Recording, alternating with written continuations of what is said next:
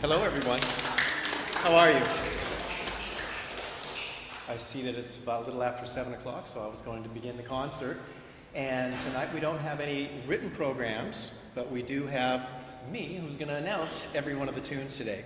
You see a lot of guitars up here, and uh, in the beginning of the concert series, when both Robert and I, Robert Wetzel and I, were trying to decide what we should have monthly, we figured it'd be a good idea to at least have titles that allowed us a little bit of uh, room to change things around if we wanted to. So uh, from the Renaissance to the present day sounded like a pretty vast amount of time that I could use. And closer to this concert, everyone, I actually started thinking about doing more contemporary music. And I'm going to be taking a chance this evening in that I'm going to be playing you several of my own compositions. Uh, and thank you for that. Uh, but to let you know that most of my compositions are not really in the classical style. They're a little bit more in a popular music vein, although uh, they have the roots, of course, in classical composition because I did compose a lot of classical music. So I hope that you'll enjoy those renditions. But I'm going to start off very traditionally with my guitar from 1830, Mirecourt, France, built in 1830. I love the sound of this instrument in this beautiful chapel. And so I'm going to play several pieces from the Renaissance and from the classical period to start with. And then I'll move, yes, uh, raised hand. Uh, this instrument was built in 1830. Uh, it, uh, we actually don't know the luthier's name, but we do know the location of the area where it came from. It was Mirecourt, France. Oh. Mirecourt is an instrument building uh, city, very well known for that, primarily for stringed instruments, but also for plucked string instruments like guitars as well. But it was called a guitar, not a lute? This is not a lute. Yeah. Uh, in fact, to let you know, anything in the guitar family is always what we have, uh, what we call a flat back instrument. The lute is always a round back, like the oud. The oud is really the, the instrument that the the, the Western European lute is made uh, to, designed after. So it was the Spaniards who started this flat back design with a vihuela, which is very close to the size of this instrument.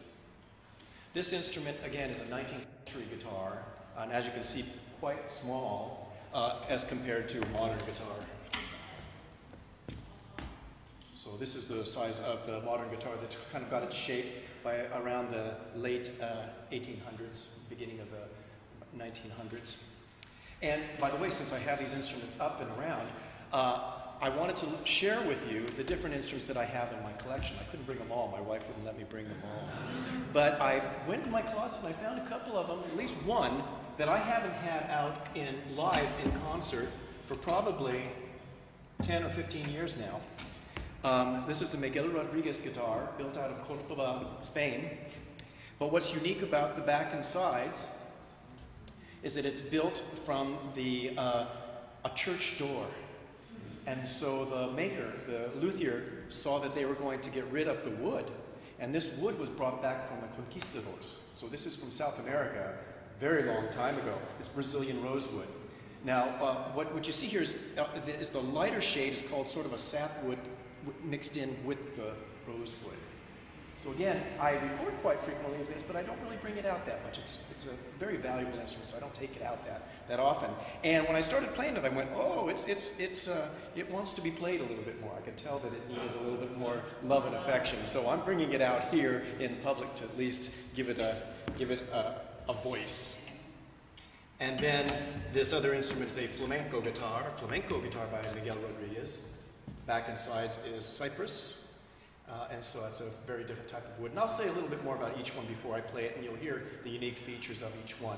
The instrument over there is built by a San Diego luthier. His name is Len Laviolette. That's a custom-built instrument uh, to my specs, and I'll say a little bit more about that when I start playing on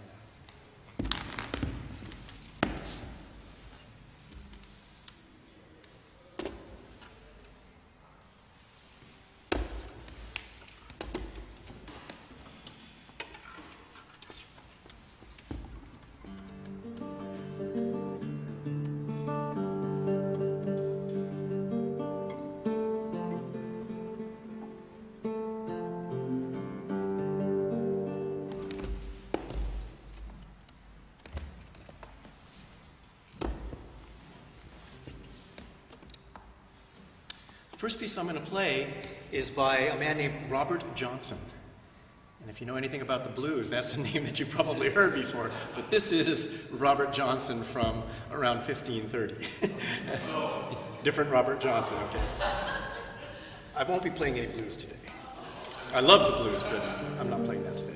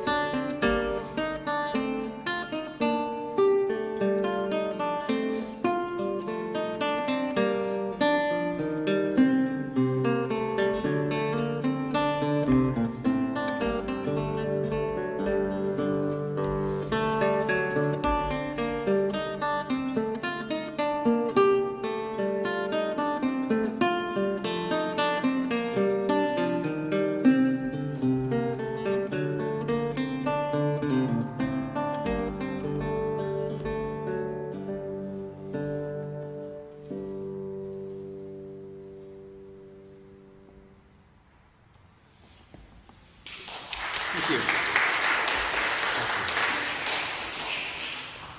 I'm going to do a quick tuning. It's, it's a little cold in this room, and it it's, in my, it's in my warm hands right now, and it's moving around a little bit. And, oh, to let you know, that microphone is not amplifying anything, so you're just hearing the natural sound of the guitar. That is for the live stream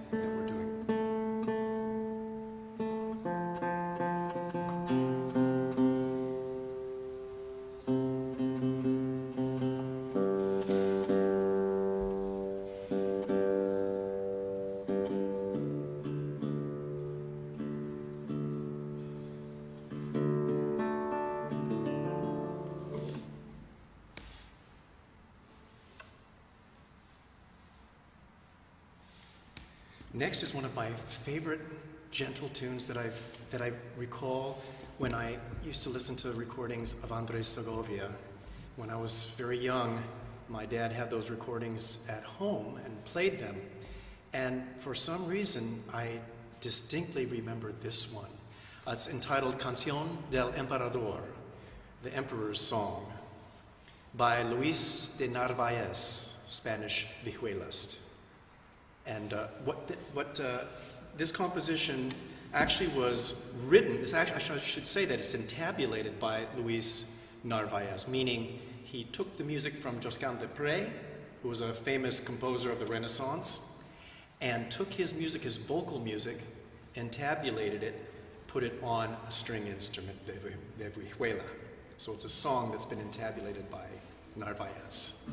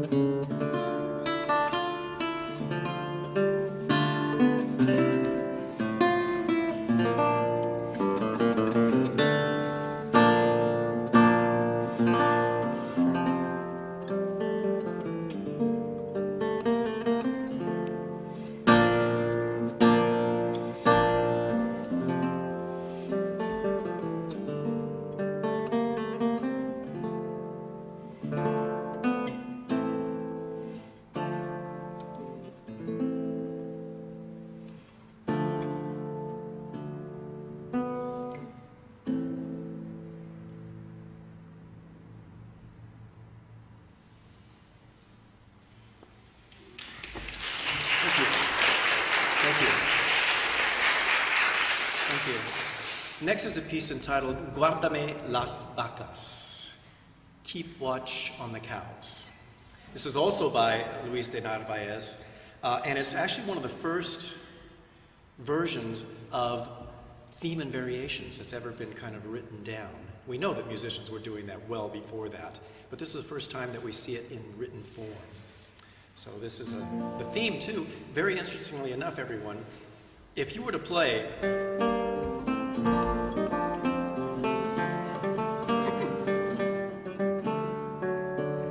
Actually fits pretty well with it. It's, surprising. You can actually play the variation at the same time as you would uh, green sleeves.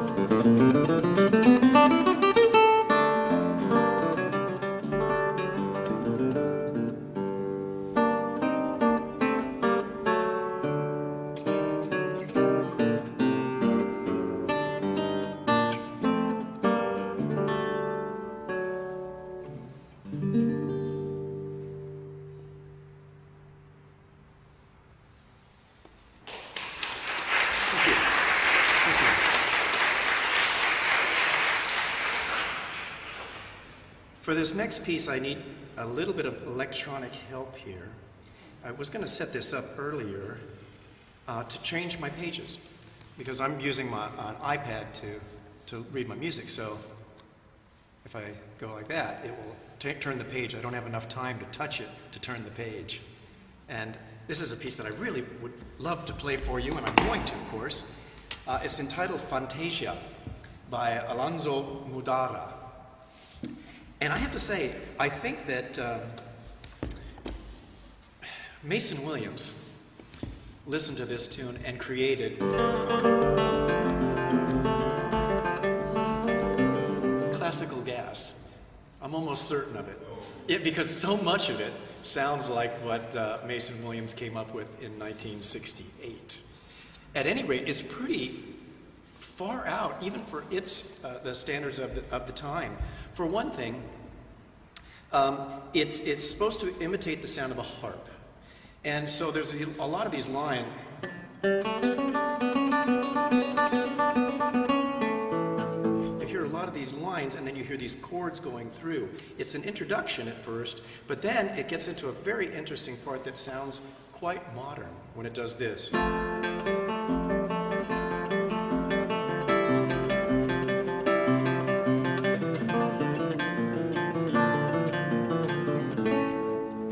Does this, which is really interesting. It goes through a bass line up, but what it's doing is on the top, it's using this note here. It's a D sharp, and there's an open D's played against it. That's called a cross relation, and they do that in the Renaissance. And so when you hear this line going,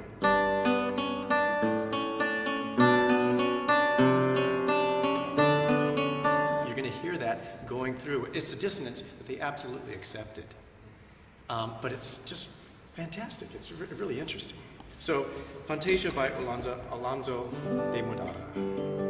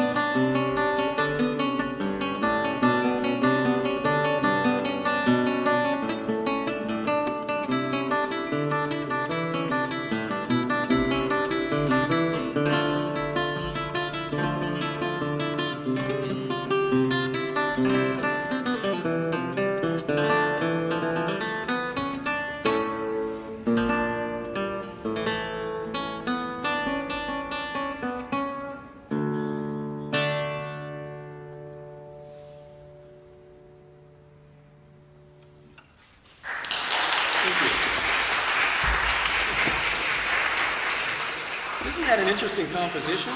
It's just, it's, it's just fabulous. It's just amazing. I love that piece.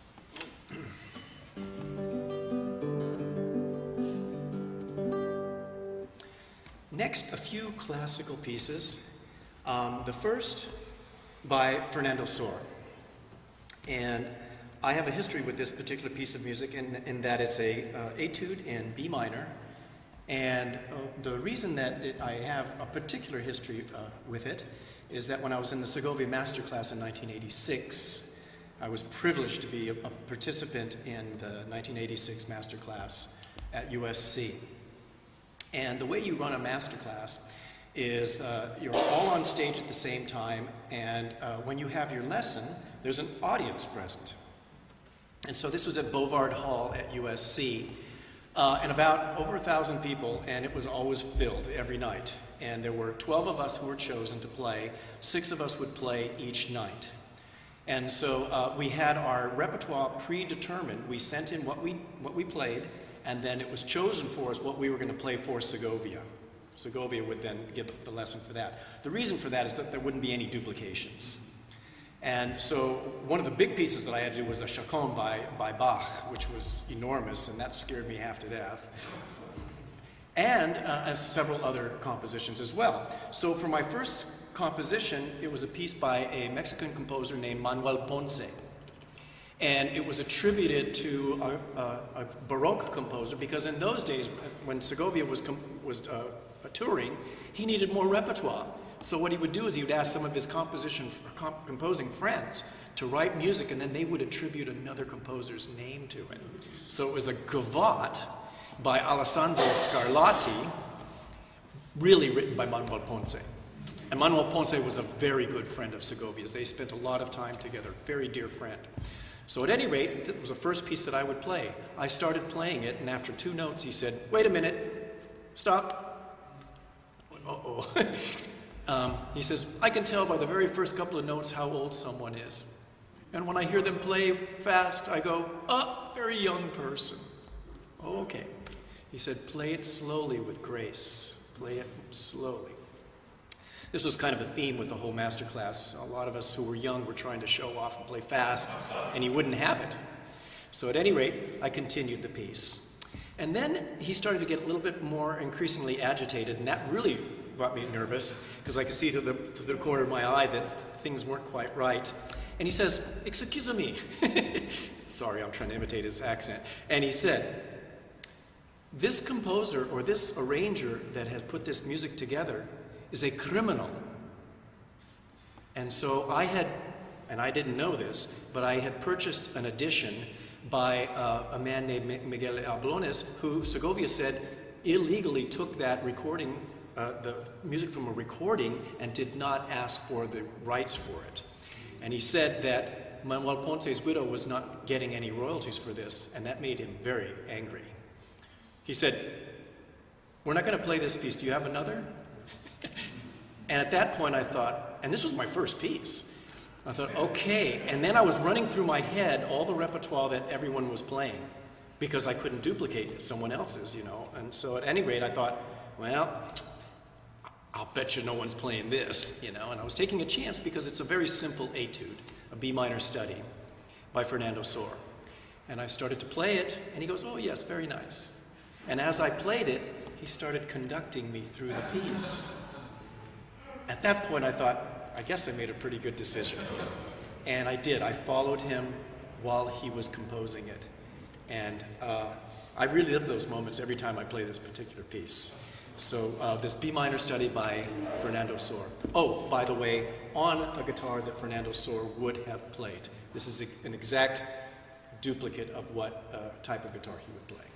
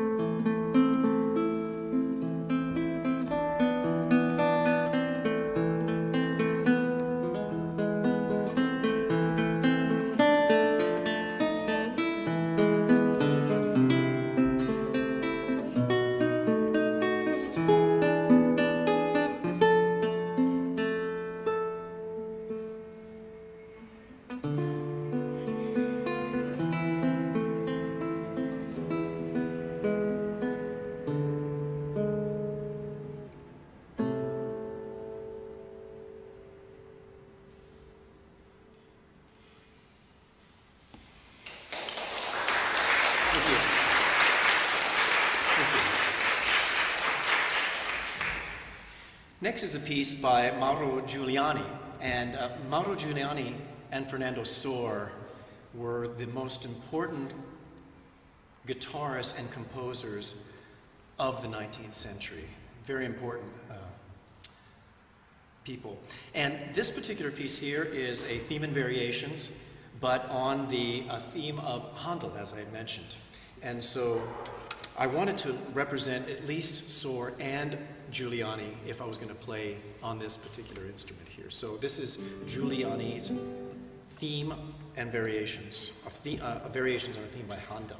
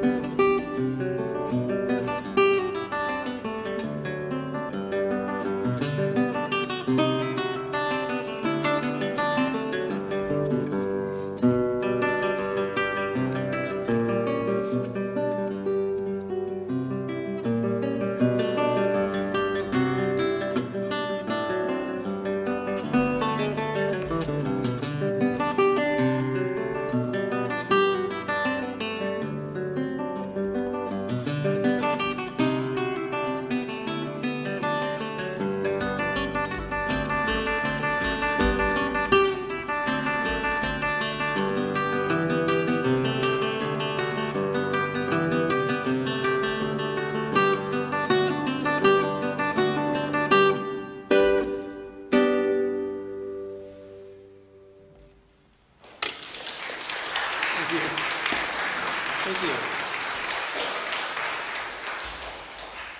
All right, so that's it for this particular instrument. Question, yes?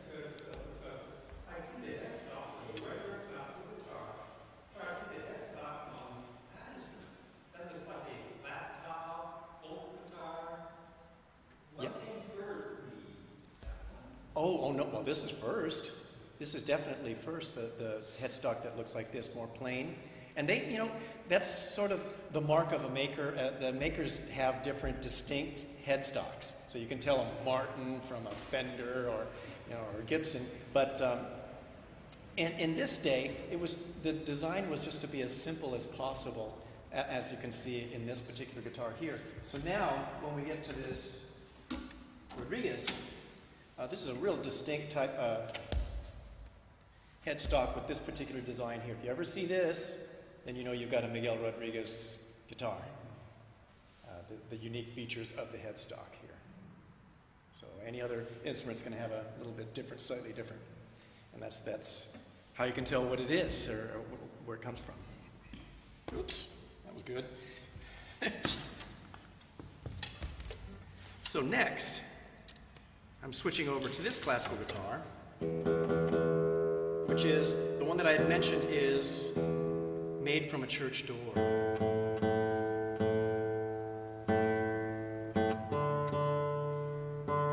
And this one's not real loud either. It's a fairly quiet instrument as compared to another Rodriguez that I have, which is a much stronger instrument. But as I mentioned, I wanted to be able to play, take this guitar out of the closet and let it really Uh, the strings I have on it are ones that duplicate the sound of uh, gut strings. So when you hear these sound, it, is a more of a gut type of string. It, it does. It's not a real powerful projecting, but a, a, a very mellow and sweet. And uh, much quieter too. The bass is not as strong as, as my flamenco guitar is going to have a much stronger bass to it. Now, on this instrument, I wanted to play for you a couple of Tarrega pieces. Francisco Tarrega, Spanish guitarist. Oftentimes, I play the usual, like uh, Capricho Árabe and all of that, but tonight I'm going to play three mazurkas. Uh, one that I play frequently here because I just love playing it so much. But the other two I've not played, um, I don't think, out in very long, long time, and I wanted to be able to play them on this instrument for you. So, three mazurkas. The first one is entitled Adelita. The second one is Mazurka in Sol, which is Mazurka in G. And the next one is Mazurka in A minor, in A mole. So we have three different uh, mazurkas. A mazurka is much like a waltz. It's the traditional song of music of uh, Poland. In fact, the most important mazurka composer was Frederick Chopin. And so you will hear uh, the feature of, of a mazurka is usually a lilting rhythm. It is a dance, yes. It is a, a stylized dance, meaning that uh, one would not actually dance to it, but it's a dance form.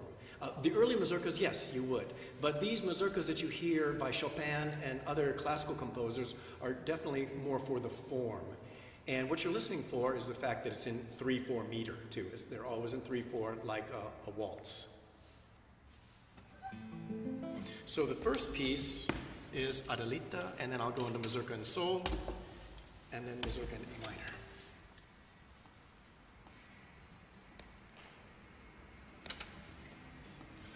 Mm-hmm.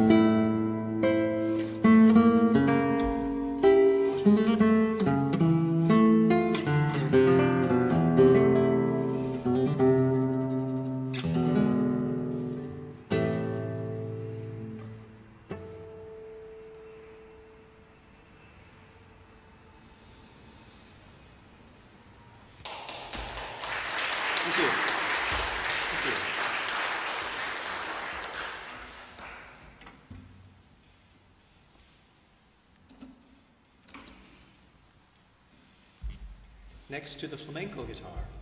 And this is, again, a Rodriguez. You can see it. The shape is absolutely the same. It's identical. Different woods. Back and sides are cypress, Spanish cypress. Top, cedar. Usually a flamenco guitar is spruce, but this is a cedar top flamenco guitar. And you probably can see that it looks quite beaten up. That, that's, that's not mine. I did not do that. This is a second-hand guitar for me. I bought this from someone else, and they uh, were uh, they were they they played they played a lot, and they played in Spain, and um, it didn't matter to them what was going on there as long as that instrument was sounding good, and this was a really good player. Uh, at any rate, um, when I brought this to uh, uh, an important luthier, and I wanted to get his advice, should I buy this guitar or not, you know, and he played one note. He goes. He said, buy it. okay, that's all I needed was his, was his saying, get it. He said, Fred, get it. Okay, I'll get it. I'll buy it. So, so flamenco guitar is much brighter, has a brighter sound. Because, for one, there's a lot of strumming going on, so you, as soon as you hear me play even, even a one rasgueado, you just hear, thing really screams. Yes. This is a Miguel Rodriguez guitar, yes. Mm-hmm. So uh, the one that I played prior was also a Miguel Rodriguez. This is the same maker, same maker. And, and so also you want a lot of projection in these guitars. So it projects, and, and you play it pretty hard too. So I'm not going to play this guitar like I played this one. Uh, it's going to be a stronger kind of a, an attack. So I'm going to play now one of the first of many of my originals. Now this one is a little bit more in a Spanish and flamenco style. It was commissioned to be in a flamenco style, yet they could not uh, take an existing flamenco piece because they would have had to pay royalties on it. And so instead, they hired many San Diego musicians to write these Spanish pieces. Each of us got about maybe five or six that we did. We would submit them, and if they took them, great. If they didn't like them, guess what? We did all that work and we got paid nothing. But if they did get in, we got paid very well. And we still continue to get royalties on these particular compositions here. So this is a, a piece entitled Granadinas. Now, there's some repetition built into it because part of the parameters of the composition were that it needed to be could be played 30 seconds in its entirety and still sound complete or sound like you know there was a thematic material or one minute or three minutes so the entire piece is about three minutes long but you'll hear several times where it repeats itself and that's kind of built in it wasn't that i ran out of ideas everyone i had a job to do but I still continue to play it and I love it.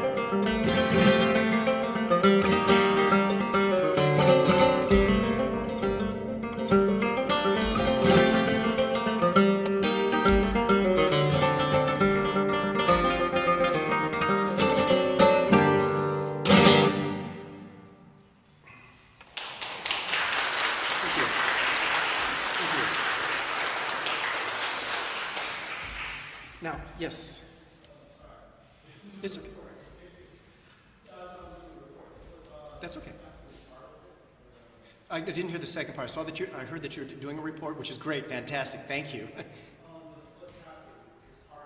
Oh, it's actually not. I mean, I, I just can't help myself. yeah, you, yeah, yeah. Uh, no, when I play that kind of music, I, I sometimes I, I just involuntarily, you know, kind of kick my feet around. Well, th- there would definitely be a dancer that would be dancing with the proper shoes on that would, that would uh, do the actual flamenco dance to, to that. But, but I wasn't certainly trying to play, do a flamenco dance while I was playing.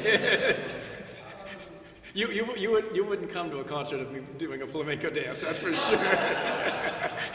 I'm pretty sure. yeah, that's great that you're doing a report, though. What, what, what school?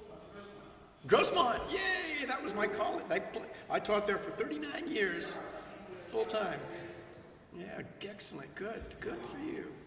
Go Griffins. All right. Well, I was looking at the time. I've got way more music than I probably should have here. So what I'm going to do is I'm going to switch gears here, okay? I'm going to switch. And I, I, do love playing on this guitar, and I'd like to play more on it, but we'll see. Let's just see how it goes. But I think it's time to introduce this other instrument that I have here, and that is a um, Len Laviolette guitar. And this instrument uh, was, I, I uh, ordered it custom, you know, because there were certain parameters I needed. First, I said I need a pickup because I need to be able to play it amplified.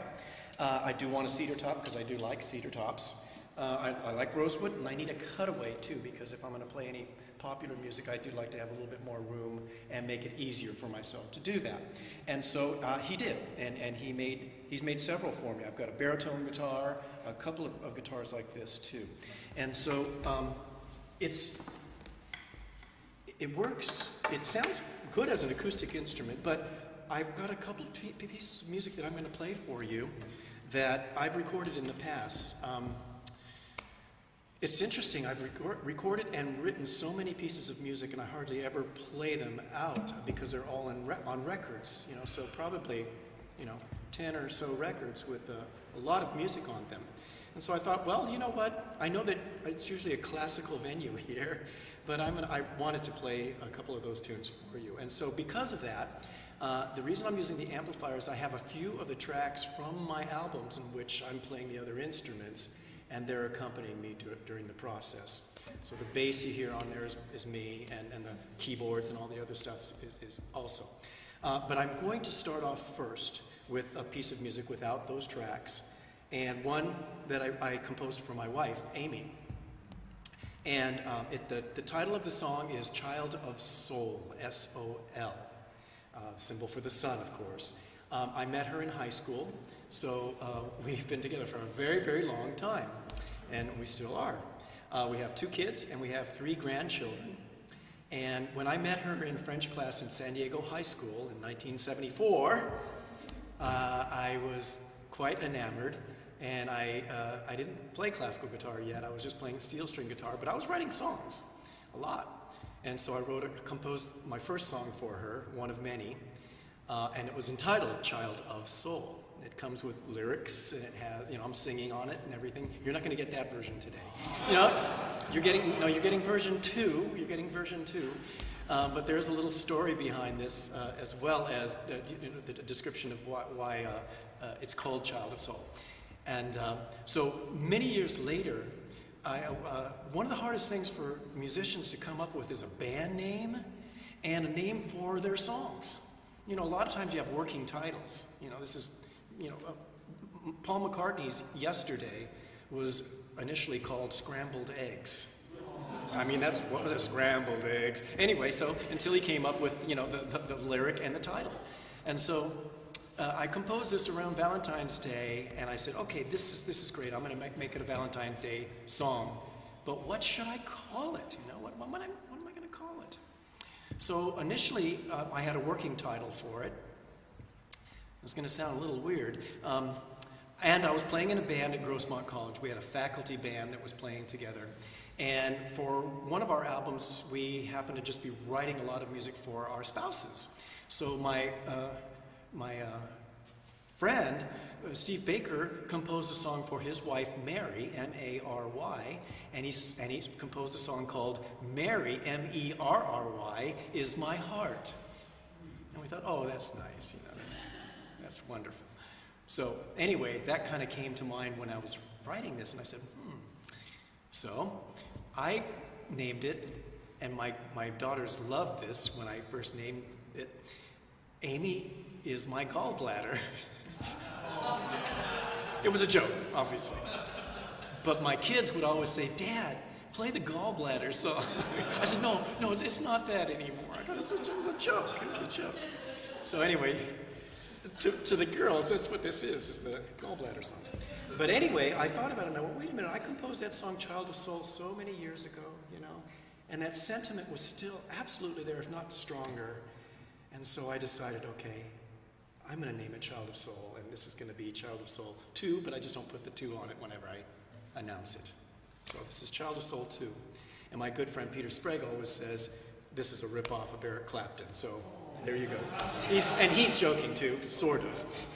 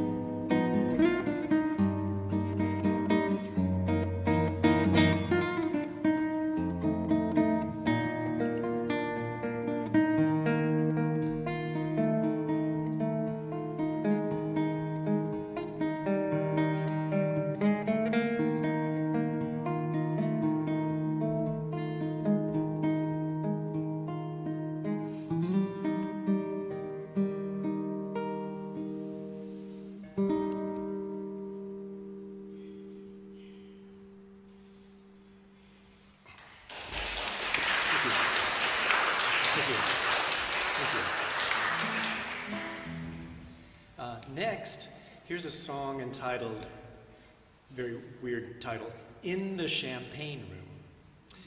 So, as a working musician, I performed for many years at, at La Costa's, in La Costa's Champagne Room. Beautiful dining room, five nights a week. And um, this was for about a year and a half. As a matter of fact, I remember seeing Arsenio Hall there. And uh, he came up to me and he said, I really like your music, sounds great. Thank you, Mr. Hall. He says, Oh, you know me? And I said, Yeah, I know you. he went back and sat down. And then at the end of the evening, um, one of his uh, minions, I guess, one of his, because he had an entourage with him, came up and said, uh, Mr. Hall would like to see if you'd like to play on his show. Okay. he says, So give me your contact information. We'll get in touch with you and we'll see when we can get on, on the show. I went home and I went, Amy, I'm going to be on the Arsenio Hall show, you know. Wow. So anyway, uh, I sent all the information up. Uh, and, and the next day, uh, they, we were in contact with each other, the, you know, the people who put all the uh, scheduling together. The day after that, I saw on the news the Arsenio Hall show got canceled. there was my chance. Arsenio. So anyway, and then they, they said, regrettably, you know, the show has been canceled. Okay, that's, a, you know, oh, oh well. so, but the Champagne Room yielded a lot of compositions because oftentimes I would be there and I would get an opportunity to improvise for four hours. It was four hours a night. So um, I would make up, you know, compositions. But the one that stuck was this one, and that's why I called it In the Champagne Room, because literally it was kind of put together in that room. It, it has more of a, a kind of a real Latin kind of sound to it, and it does have a track. And so on this track, you're going to hear uh, other instruments playing as well. Okay. Let's just make sure that it's going to sound all right. So remember, that other guitar on there, that's me too. so.